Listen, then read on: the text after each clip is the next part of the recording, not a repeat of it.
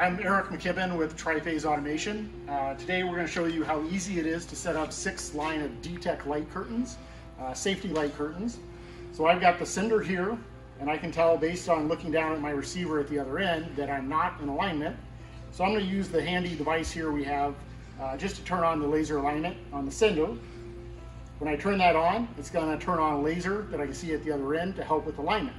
So if you look down to the other end, you can see where the receiver is, and the red light tells us that we're not in alignment. And here I am down at the receiver end. I can tell I'm not in alignment because my red indicator light on the top is red. I've also got indicators on the face telling me we're red, that we're not in alignment, or potentially something's in the field of view or in between the sender and receiver. So all I have to do is find my laser beam from the sender, which I left on, and here it is. So I know that there's a spot right on the light curtain, basically on the bottom four uh, blue LEDs.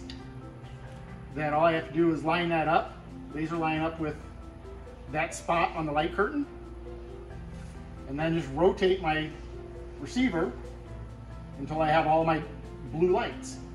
So the top blue will tell you whether your um, top beam is made or unmade. Uh, the other side will tell you whether the bottom beam is made or unmade. And then by rotating it, you can see our blue bar or dots here on the bottom form a little bar graph to tell us when we're in the perfect alignment. Once we're there, we lock it down and we're ready to go. So now I get a safe output to stop my machine.